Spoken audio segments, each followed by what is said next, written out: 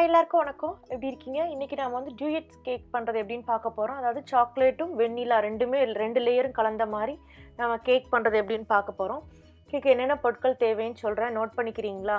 இங்கே நான் ஒரு கப்புக்கு கோதுமை மாவு எடுத்திருக்கேன். சப்பாத்திக்குள்ள மாவு தான். அரை கப்புக்கு வந்து ப்ரௌன் சுகர் எடுத்திருக்கேன். ப்ரௌன் சுகருக்கு பதிலாக நீங்கள் வந்து ஆர்கானிக் ஒயிட் சுகரோ வெள்ளைச்சீனியோ எது வேணாலும் சேர்த்துக்கலாம்.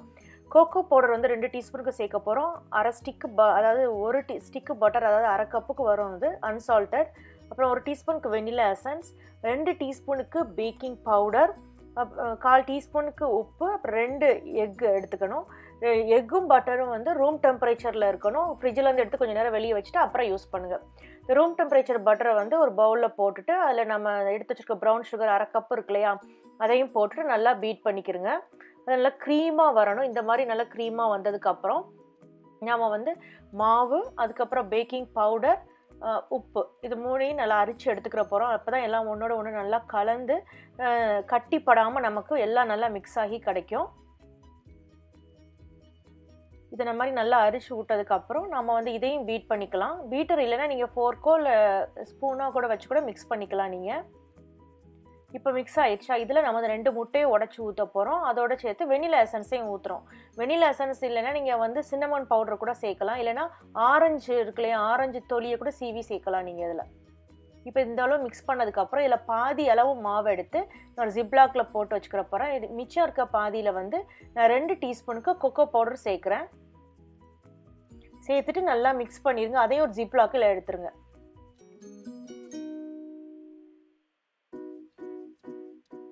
இப்போ நான் அந்த ஜிப்லாக்கில் ரெண்டுலேயுமே போட்டாச்சா? இது இந்த ஜிப்லாக்கில் கார்னரை வந்து லைட்டாக சிசரெல்லாம் கட் பண்ணிவிட்டு நான் இந்த ஹார்ட் ஷேப்பில் மோல்டு வச்சுருக்கேன். இந்த மோல்டில் வந்து ஒரு சைடு வந்து இந்த வெண்ணிலா பேட்டர் uh, இருக்கு இல்லையா? அந்த மா அதை நான் கேக் மிக்ஸை வந்து உள்ளே சேர்க்குறேன். அடுத்த பாதியில் வந்து நாம் வந்து சாக்லேட் எடுத்து வச்சுருக்கோம் இல்லையா? அதை சேர்க்குறேன். நான் இங்கே சைடு சைடாக சேர்க்குறேன். ஒன்று நீங்கள் வந்து கீழே ஒயிட் கலர் மேலே ப்ரௌன் அந்த மாதிரி கூட கொடுக்கலாம். இந்த மாதிரி கொடுத்துட்டு லைட்டாக அதை த அந்த சர்ஃபேஸ்க்கு எல்லாம் சி ஈக்குவலாக சே போகிற மாதிரி லைட்டாக மாதிரி தட்டி விட்டுருங்க. அப்புறம் மிச்சம் இருக்கிற மாவை வந்து இந்த மாதிரி நான் பேப்பர் கப் இருக்குல்லையே அதை வச்சோன்னா நம்ம அந்த கே பேப்பர் கப்பில் இருக்க வரி வரியாக இருக்கிறது வந்து நம்ம கேக்கில் வந்து அழகாக வரும். அதில் நான் வந்து இதில் முதல்ல பாதாம் போட்டிருக்கேன். பா இது ஆப்ஷனல் தான். தேவைன்னா போட்டுக்கோங்க இல்லைன்னா வேண்டாம். இப்போ ரெண்டுமே ரெடி ஆயிடுச்சு. இதை வந்து நான் ப்ரீ ஹீட் பண்ணியிருக்கேன். ஏற்கனவே ஓவனை three hundred and fifty degree ஃபாரன்ஹீட்டுக்கு அதில் பதினெட்டில் இருந்து இருபது நிமிஷம் நீங்கள் வச்சு எடுத்திங்கன்னா இந்த அருமையான கேக் உங்களுக்கு ரெடி ஆயிரும்.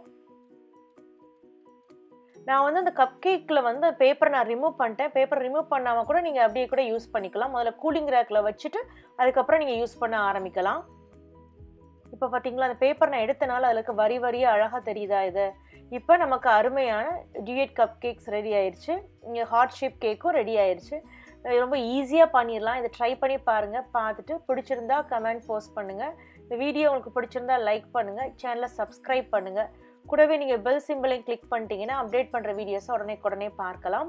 இந்த கேக்கை வந்து நீங்கள் டீ டைமில் வச்சு சாப்பிடும்போது ரொம்ப நல்லாயிருக்கும் நம்ம வீட் ஃப்ளாரில் பண்ணியிருக்கனால நீங்கள் குழந்தைங்களுக்கு ஸ்நாக் கூட ஸ்கூலுக்கு கொடுத்து விடலாம். இதை ட்ரை பண்ணி பார்த்துட்டு சொல்லுங்கள் நம்ம இன்னொரு வீடியோவில் சந்திக்கலாம். நன்றி. வணக்கம்.